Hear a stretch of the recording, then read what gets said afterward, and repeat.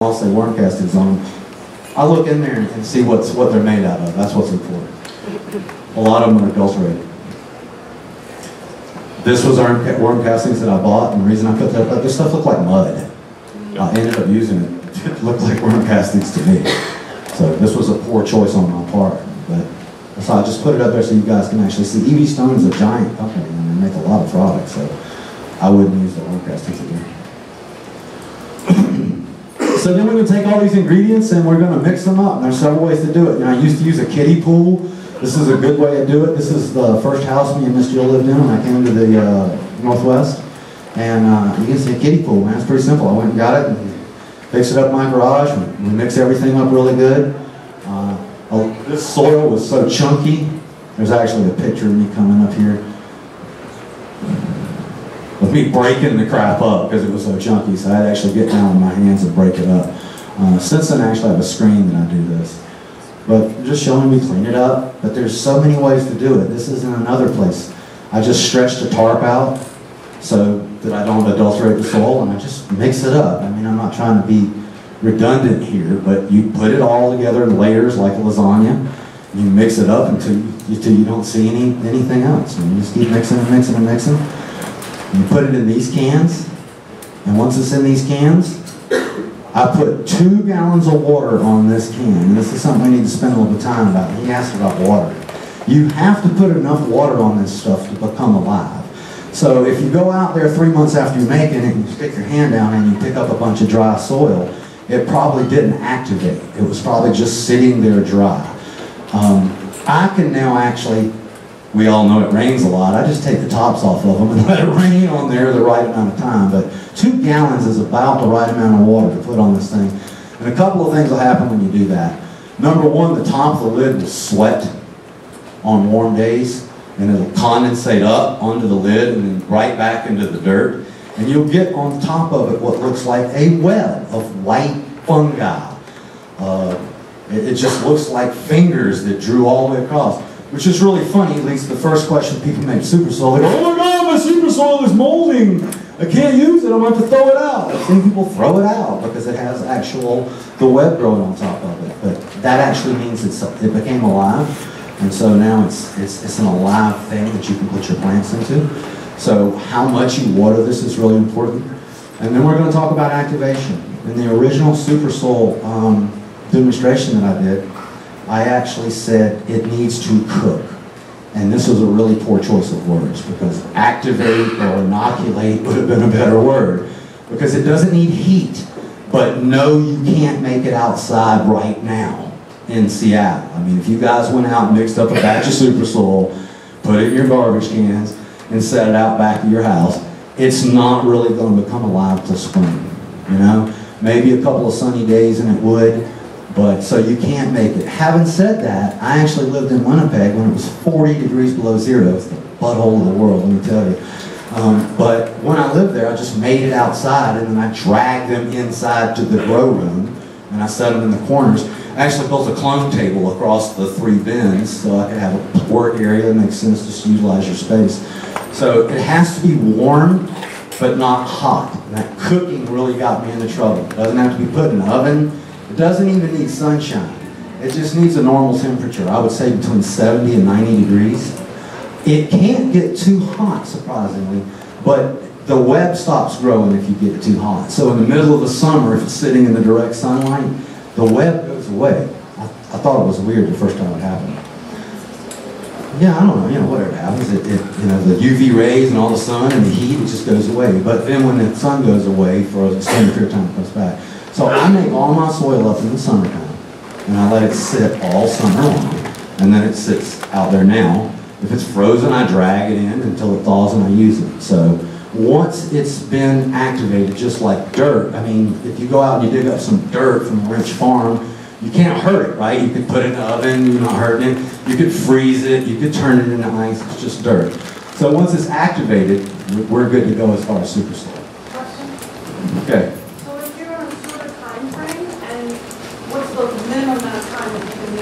Six weeks is about the minimum. Um, it's really nice that you asked that. There's some guys right now on one of my forums, and he's using it in two weeks, and he's having good results. you know, I'm gonna spend a lot of time arguing with somebody that, great, that's great. We've used it that early, and you can actually see the plants don't like it. They, they're like, ah, you know, they get leaf tip burn, they get the claw, you know, the claw and the whole plant wants to claw over. Kind of pissed off, you know? That, that azomite, there's no way it's broken down. That lime in two weeks, there's no way the lime is broken down in two weeks.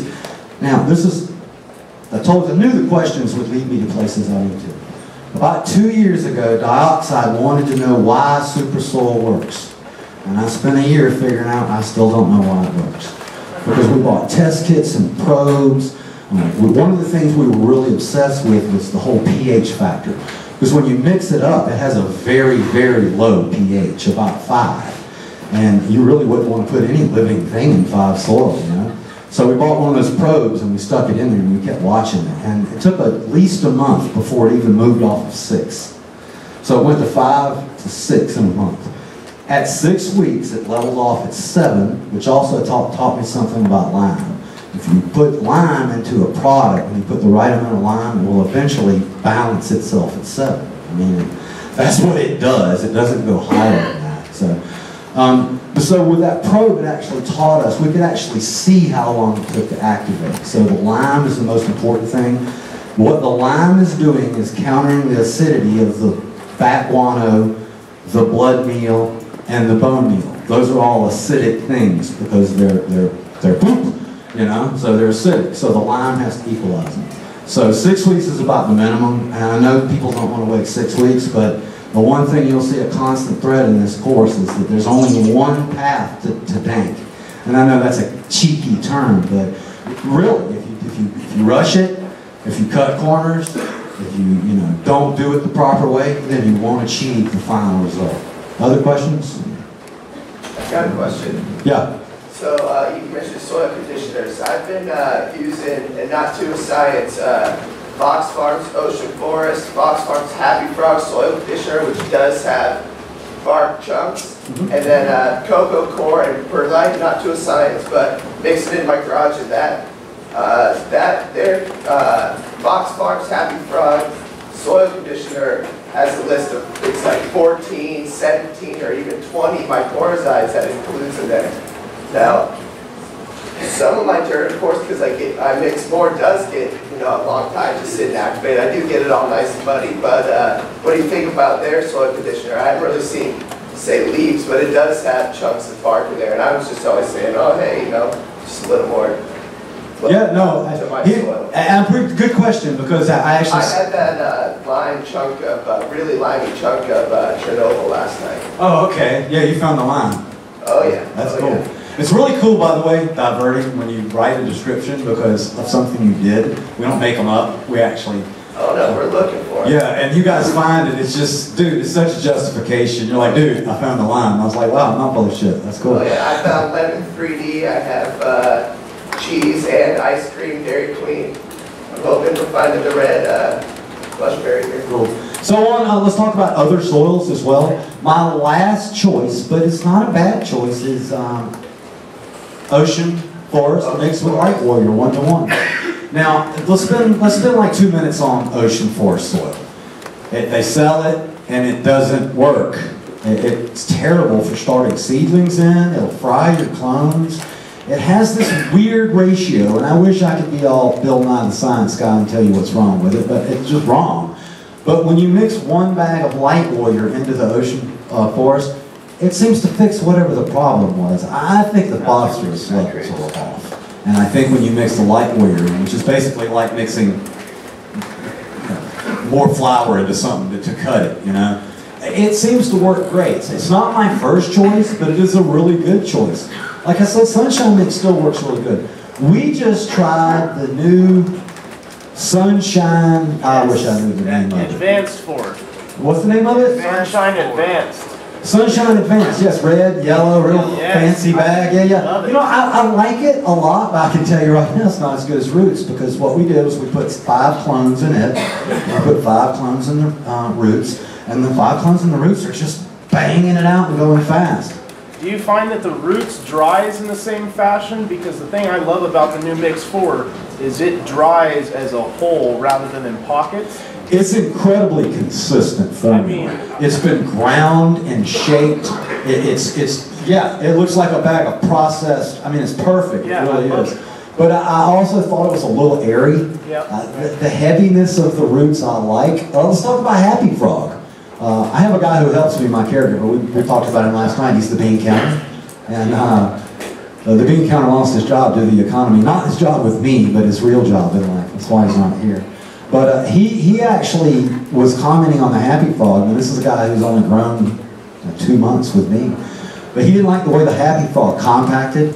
If anybody's ever grown with Happy Frog, it becomes cement, like Yeah, yeah. really fast, right? Yeah, put. Yeah, it's kind of a pain in the ass. So what we do is the same thing we do with everything. We took we took five vortex seedlings and we put them in the happy frog, and we put five vortex seedlings in the roots, and the roots is just killing the happy frog. I talked about their soil conditioner, the more barky, not the, not the soil, not the. I, yeah, I, as far as specific products, you know, I just haven't tried them Yeah, all. it just, it has like twenty mycorrhizas. Yeah, and so, you know, the kind of thing I would do, and, and since you've mentioned it now, and if I see it, I'll grab a bag and add it in the super soil. That's the kind of stuff I do, and I urge you guys that are really long-term, how many people in here have been growing in soil for a long time? Let's see how many people in here grow in soil. 12 years. Right on. Okay. See, I urge you guys to play with the recipe. I mean, I really do. This is just a recipe, and if I gave you a recipe for macaroni and cheese, could you make it better in your own home, to your own taste, to your own plants? Yeah, of course you could, you know, so I, I recommend that. I don't recommend somebody that hasn't been growing in soil for a long time to, to try this because, you know, it's going to be, you don't know what to look for and you're, not, you know, skilled enough. I'm not a good troubleshooter. I got to be honest with you on that. And when I have a plant that's growing and it's unhappy, I've been known just to drag it out back and kill it. And then start again, you know, because once a plant is sick in soil, if you're trying to, you know, change the pH or you're trying to add fertilizer, you cannot flush super soil. Let's, let's talk about that for a second. Super soil is very heavy. And there's no way you could pour water through. I mean, if you poured enough water on super soil to flush the plant, then the pot weighs so much that you chance getting pythium and root rot. So um, we talked about this last night.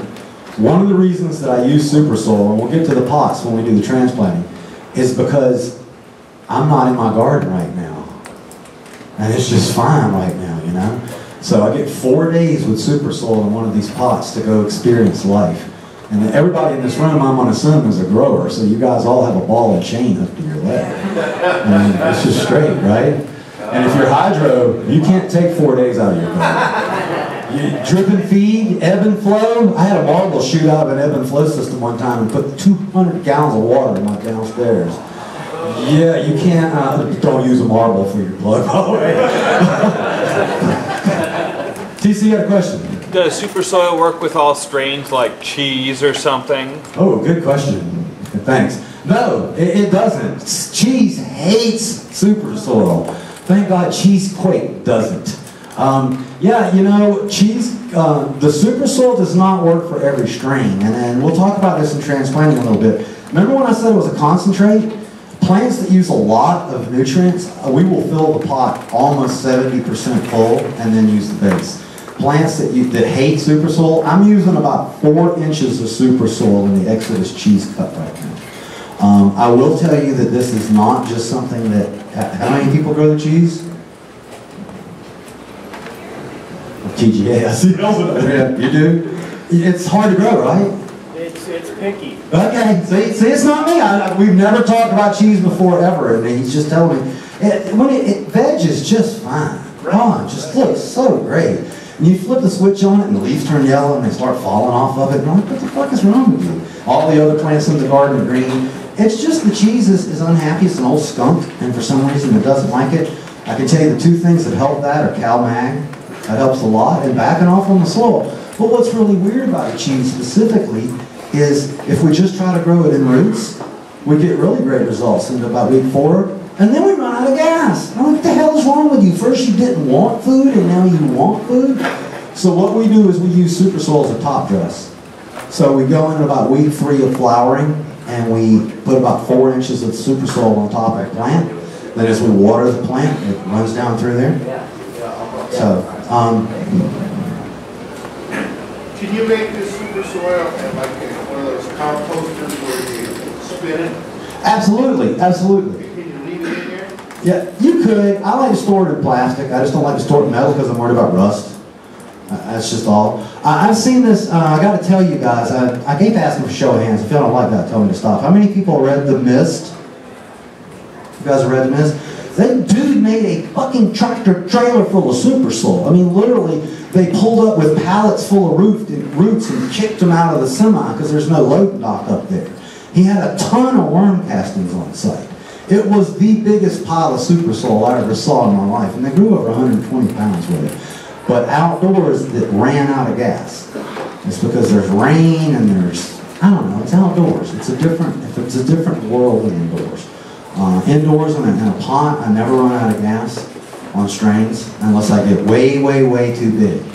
Um, and when I mean big, I mean a seven foot plant that's producing 10 to 14 ounces. They can run out of gas in seven minute. So, um, the, the guy last night was asking all the questions about the parking scheme. He's not here, which I guess is good, but um, I wanted to tell you that I believe the reason he was having problems, he was leaving his plants in the pots too long. If you leave your plants in the pots too long, if you try to veg your plants too long, the stems become really barky and woody, and I've never gotten quality pot off of a plant like that. You leave your plants in veg too long, I think a plant needs to veg properly with the right amount of energy, get budded, and finish, especially indoors. Outdoors is different because the root ball can keep growing. Indoors, all we're doing is filling this up, which leads to talk about air pots. Rob, I'll, I'll get you in one second. Thanks, Talk about how long you thought was too long. Well, you know, 90 days is the longest I've ever veg a cork along. Eight weeks. Yeah, so you know, you're nine, you're nine weeks in there, in veg, um, excuse me, you're three months in there in veg, and then you're two months in there, so your total is 20 weeks in this pot. Yeah. You know, plant's not gonna really like What that. about, say, twenty weeks in smart pots then? I knew somebody was gonna bring up smart pots, and this is what I'll say about smart pots. I think they are awesome, and I've seen really good results from them. Like a twenty gallon smart pots? Yeah, no, I, I've seen, we were, the Mist, he did a bunch of Jack Herer in the 50 gallon smart pots. He got really good results, but they dry out really fast.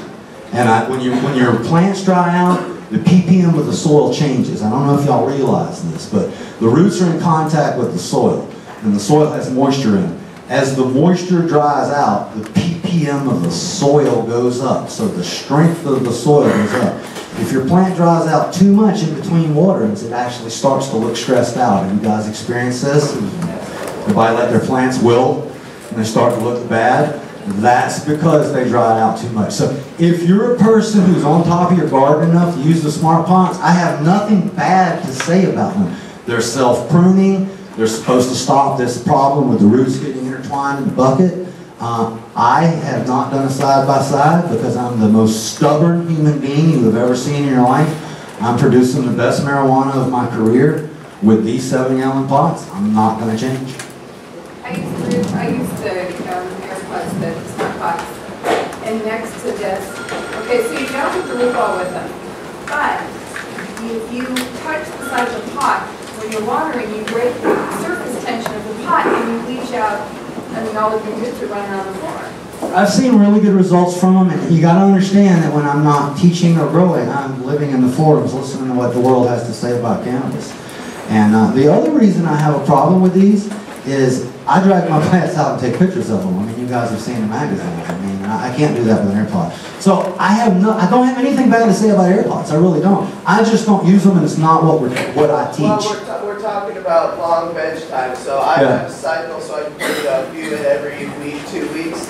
Yeah. So I end up having a lot of veggies that have, yes, they have a lot of time going, and, you know, some of them lost track on because those babies. Yeah, well, we have a really good friend. He's one of my, he was one of my closest friends. His name's Pigs. I don't know if y'all have seen Pig Wax. He's, uh, we, we love him to death.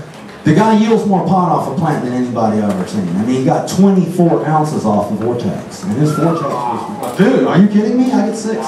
And his, he's a really, really good grower. But his pot's not as good as mine. It's in that pot too long. It's haggard a word you can associate with bud? You know, his pot is worn the hell out by the time it's harvested. So yield wise, he kills it. He gets 30 ounces or something off of Kim D. He gets 20 something ounces off of Vortex. Um, the uh, jelly bean he was doing, he's getting pounds, right? Two pounds? Months? Yeah, off one plant. And a huge ass air pot, big stick, looks like a, it looks like an ornamental tree in a mall. right? 90 days. So you can't, you cannot knock the guy's yields. And, and he grows really great bud. You know, and it's an awful egotistical, snobbish thing to say my pot's better than his, but it is. And I think a lot of that's because of that barky stem. Uh, That's just that. When you're getting higher THC, but you're not stressing it to I, I think you do get stressed, and I really do. Having said that, the other thing, the other side is just as bad. Root and bloom, everybody, you know, root and bloom, where you, you remember the tubes, everybody's doing hydro. As soon as it roots, you stick them in there, you flower. You know, back in the days when the guys' numbers didn't matter and people were running 300 plants in a room. I don't know if you guys know, in Canada, the big thing is collies. It's a big spinning thing, you put a thousand, can you imagine taking a fucking thousand clones and loading them into a machine? I'd go, go to the dentist. Um, but, but, but they used to do that. I don't think that pot, pot was as mature a- as stuff that's grown in, in seven gallons. So I think there's both sides. I think it's too old, but I also think there's, you know, it's got three roots, let's stick it in there and bud it. I feel the same way about blooming from seed, by the way. And I know there are people out there that just completely love to prove me wrong with my own strains. You know? I, I grew out Chernobyl and I budded it from seed and look what I got. But I still say that the plant grown properly for 60 days and then budded properly is going to be better. So before we move on to the next topic, are there any more questions on soil? Really? Go ahead. It's the bone meal. I've read there's two different types of bone meal. There's steamed bone meal and there's dried bone meal. And I've heard, and I can't remember which is the better to use, the steamed or the dry. Uh, Steve, God, I'm so stupid. Steam, steam just sounded better to me. Yeah. I didn't do a lot of